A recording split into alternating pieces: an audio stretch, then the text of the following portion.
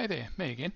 So yesterday I posted the video on the ultra simple exams time of schools and uh, I got an email from Joanne Jarvis shortly afterwards saying I saw your post about the timers. Do you know of a good timer that I could use in presentations? I do a lot of presentations. I'd like to be able to have one on a slide so that when I ask people to spend 15 minutes discussing something at their table, it can be on the slide. So they can be a countdown timer or something that uh, she can use as uh, something to let people know how long they've got for that breakout session. Uh, this would be in a face-to-face session or across a Zoom. Fair enough. Um, it's something that you'd think would be fairly easy to do in PowerPoint, but unfortunately in the Department of Education we've actually blocked add-ins for Microsoft Office and that's because uh, there are some security concerns about some of the add-ins. We can't really trust every single one of them so they've just made a blanket decision to to block those um, and I'll just demonstrate that very quickly for you. Let's say I wanted to create a presentation. I'll just pick a, a new presentation here. Uh, it's going to build it, create that, that's fine. So I'm building my slides and I'm getting to the point where, um, let's say I need a new slide here and I'll just make it a blank one like that. Um, we might just delete this little box but if I wanted to add a timer and I didn't have uh, any restrictions, what I'd do is I'd come up here to insert and I'd go to get add-ins and I'd choose the option or I'd search for a timer and you can do that. But as you can see in, in our environment, Office Store is not available. So that's not really something that we can that we can do. But we can create our own timer manually, and it's not that hard to do, and they work quite well. And I'll show you how to do it. So let's uh, let's just come in here and we'll say breakout discussion session and that's our little title for our section. Uh, you can center it if you want to. You can do all sorts of different things to make it look the way we want it to be.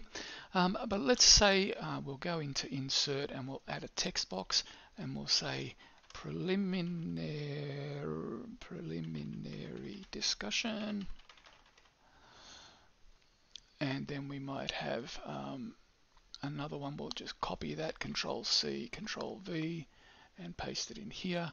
And then another one and we'll paste it in here. So they're all lined up. Let's make a bit of room for them. So she wanted 15 minutes and the reason why I'm doing this is to say, okay, well, let's break that 15 minutes up because if it was just 15 minutes all up, then people won't really use their time very well. So we might say that the first five minutes is a preliminary discussion, the next five minutes might be a summation, and the next five minutes might be a wrap up, and um, deciding who's going to present wrap up, and well, just let's just call it wrap up. Okay, and what we now want to do is create these timers. So here's how I recommend you do it.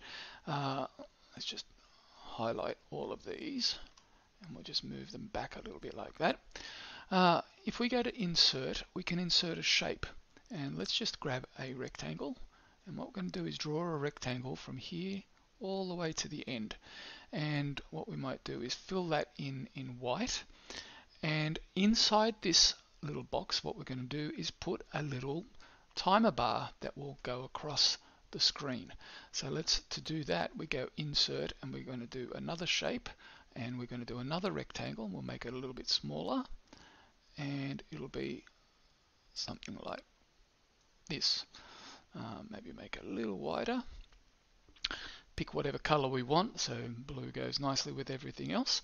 Um, but the difference is what we're going to do with this blue bar that we see here is we're going to make it slowly creep in from the right. So we're going to add an animation to slowly creep in all the way from the right and to take a particular duration which is five minutes to um, to get fully onto the screen.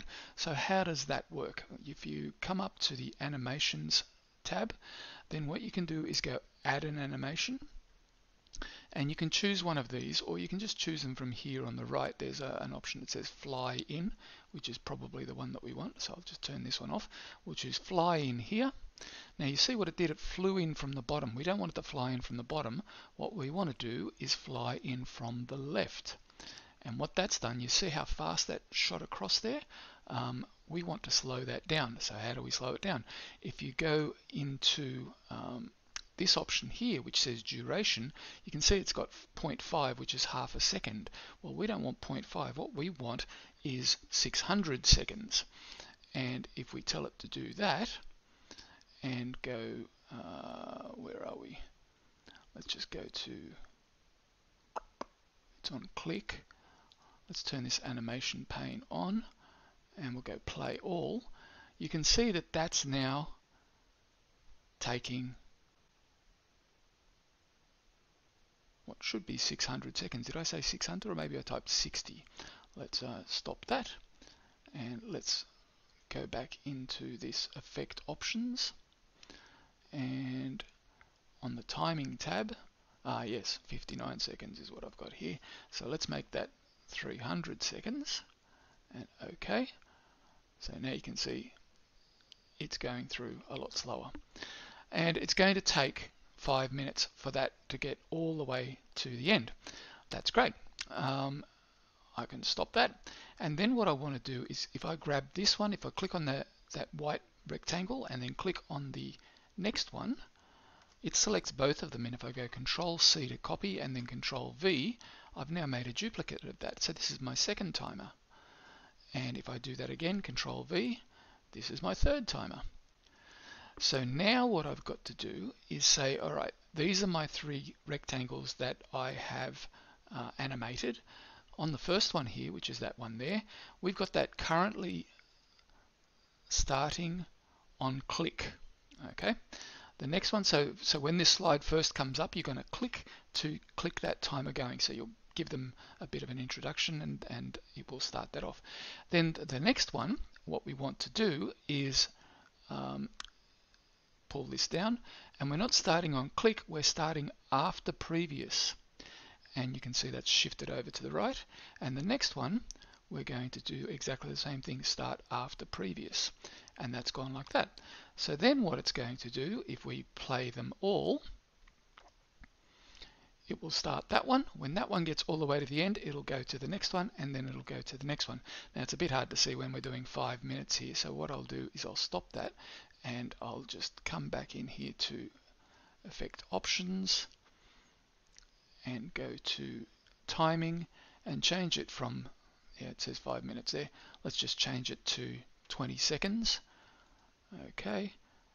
And then we'll change this one, effect options, timing, 20 seconds, and so on. So now if we start from the beginning,